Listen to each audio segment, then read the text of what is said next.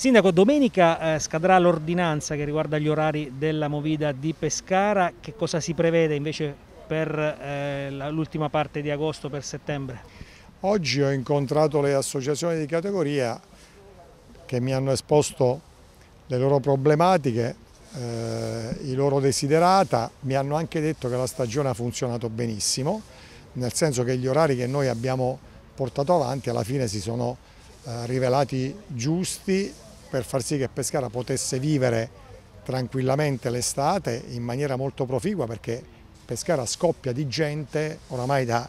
da molte settimane, tant'è che non si trova ancora oggi, dopo Ferragosto, un posto letto o un ombrellone o una palma nella nostra città. E quindi mi hanno chiesto di estendere questo discorso fino a fine mese per poi ritornare a un ragionamento più consono al periodo eh, pre autunnale. E io sto ragionando, ovviamente